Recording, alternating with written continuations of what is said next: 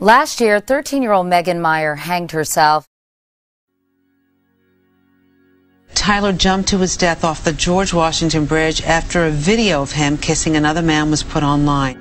Kids are facing a new kind of threat the online cyberbully. Officials in Massachusetts believe there's been another tragic, deadly case of cyberbullying. Battles cyberbullying. Police are now investigating a case of extreme bullying online. It's called cyberbullying. Moment I tried to forget. I lost myself, is better not said Now I'm closer to the edge. It was a thousand to one and a million to two Time to go down flames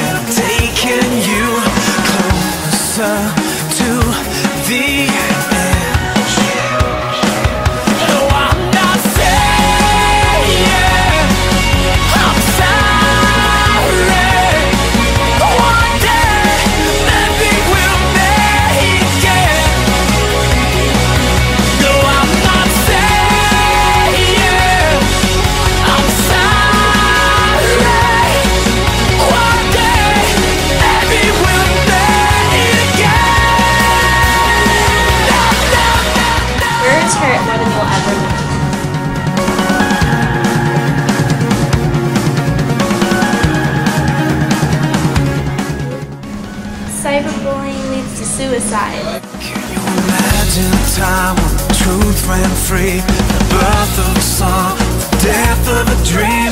Closer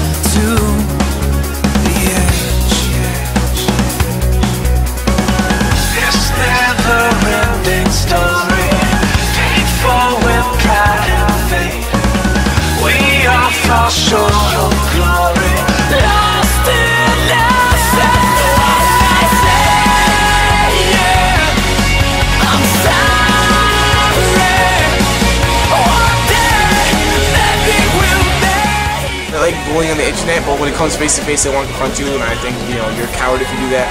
I just think uh, cyberbullying should not happen.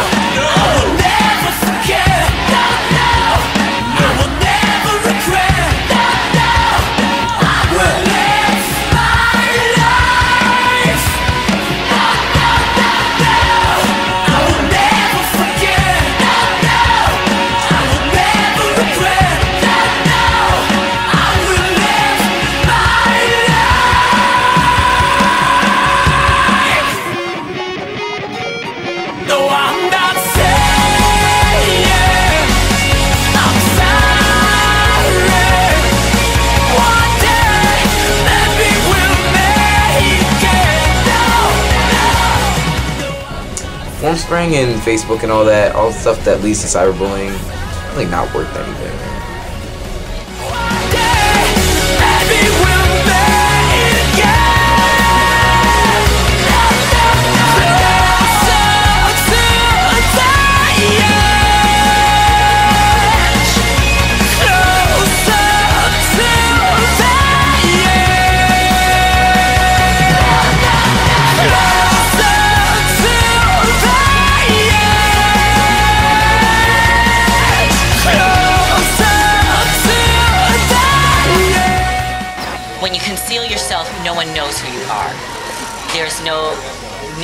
Trace you in your location, and there's just more opportunity.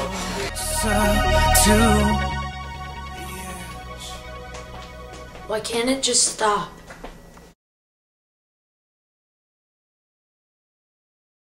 Cyberbullying is occurring in our homes every night. It's the you look fat comment in our Facebook default pictures, the trash talk on Xbox Live, the teasing over instant messenger, and sometimes it's most simple jokes that hurt the most.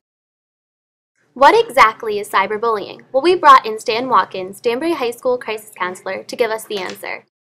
I think everyone has a pretty good idea of the term bullying. Okay, um, when you then bring it into the area of cyberbullying, it means, for me, anything that takes place electronically, whether that would be email, Facebook, texting, um, anything that would happen through a computer or through an electronic um, device, that, and and then take advantage of another student or intimidate another student. According to the Florida Atlantic University Cyberbullying Research Center, girls are more likely to partake and experience cyberbullying. However, through Xbox, nothing is impossible. Reborn, you don't even know how to say it. Go back to third grade. You're stupid. No, no, you shut up. Don't eat. No, no, no, no, no. Kid, shut up. No, no, no, shut up. That's why I'm so much better than you. That's why I'm, I'll, I'll, I will 1v1 you, kid. I will 1v1 right now. News reports regarding cyberbullying have become more and more popular over the last couple years. Phoebe Prince and Megan Meier are just a few of the names that you've seen on the news. Articles beyond articles across the world have shown us it's not a small problem, but a big one. How much is too much? Teenage bullying and teasing is an epidemic in this country, and the death rate is climbing. Easier, it's easier to say something about somebody online with the technology and the constant ability. I mean, you could probably sit in a class and with the teacher not know it and be cyberbullying somebody who's in that class. And if you're really skillful at hiding your texting, you could be doing it, you know, in school about the person next to you. So I do think technology makes it um, more of an epidemic. An epidemic? I think so. About 20% of the people who are cyberbullied either have suicide attempts or fatal deaths. This means the people you know, love, and care about in the halls may be secretly cyberbullied, the victim of someone else's pain. In, in my classes, and especially in advisory when we talk about cyberbullying, uh, students have told me that they have been cyberbullied. And they've given a little bit of the background in terms of what's been said about them. Um, so I have heard of individual actual cases of cyberbullying here at Danbury High School. The death toll is climbing due to the increasing need amongst teens to cyberbully. According to studies, about 75% of all high school students have visited a website bashing another peer. Not only is cyberbullying perpetrated individually, but is sometimes the work of an entire group. He sort of got interested. We're like, oh, well, we would never go for someone like you. I can't believe you would think that. Like, really, really cruel stuff that we said. It's a world filled with 7 billion people, but not all of them are as happy as others. With the internet, a huge world becomes a smaller one, where many people can get hurt. Cyberbullying works on the emotions, and sometimes it hurts worse when someone damages you emotionally than if they damage you physically. In a country where nearly 99% of all students use the internet, a finding found that many aged from 11 to 19 were threatened or teased via their computers and cell phones. You never know who may be cyberbullying you. 62% of high school students say they've been cyberbullied by a peer, and 46% say they were cyberbullied by a friend. Whether joking or in an all serious matter, there's nothing funny about cyberbullying. One in three kids is being victimized. Let's not forget about the people who bully. Since November 2009 to February 2010, cyberbully offenders have risen up 7.9%. Cyberbullying victims have risen from 2007 at 17.3% to 2010, where it is 20.8%. Seeing it more and more happening online in some way, and I think that can be a lot more intimidating because it's reaching into your home, into your personal life, into where you normally could used to be able to escape, and now you can't. The emotional and psychological outcomes of cyberbullying are similar to real life bullying, with the exception that cyberbullying, there's often no escape. School ends at 2 p.m., while the internet is available 24 7. Now, computers and cell phones with cameras have made it so much easier to taunt each other about physical flaws or boys about their vulnerabilities. Cyberbullying over social networks has become an outrage. About 21% of the kids have received mean or threatening messages over Formspring, Facebook, MySpace, or any other social networks. People are able to hide behind any screen and say what they want because they think they cannot be caught. But cyberbullies are not indestructible. Welcome back, folks. With me now is a local high schooler named Jake. He was recently suspended from school for cyberbullying. So, Jake, I have got to ask, how do you feel? You want to know how I feel, Dylan? I feel pretty upset. Suspended. Really. I got suspended for what? Calling a kid a few names over the internet? Since when was that a crime?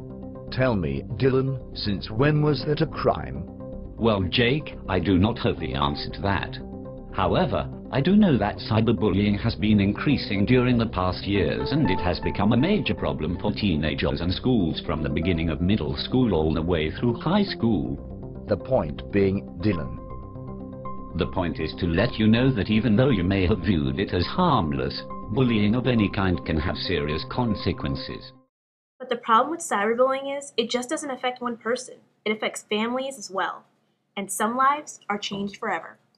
Um, and then I just heard a blood curdling scream. I just saw her hanging from her closet. And I yanked the whole closet thing out of the wall. And Tina ran and got a knife so I could cut the uh, belt from around her neck and then started performing CPR. She had tears the entire time running down the side of her face the entire until she passed away. Just like, please. Please, Megan. Breathe.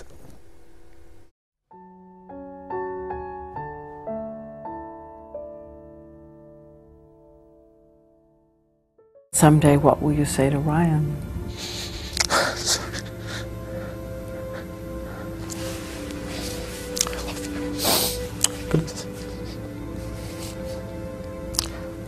I love you.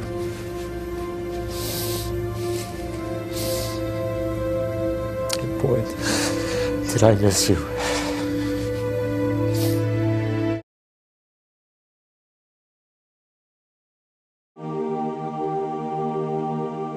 I pray that nobody here knows this kind of pain, this pain of losing a child. I am totally convinced that this is the worst pain that a human being could ever encounter in a life, is to lose a child. You all are loved beyond belief.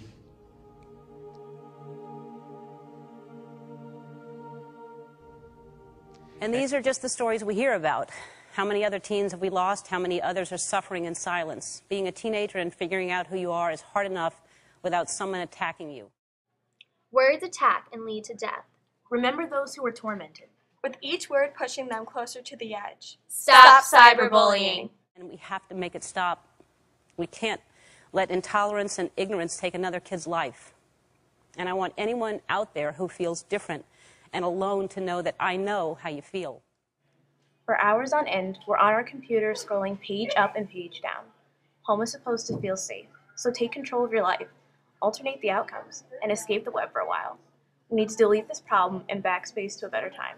So pause or break the trend and insert humanity into this world. I hope from what you've seen, a shift is starting from within, and the injustice that is cyberbullying is coming to an end.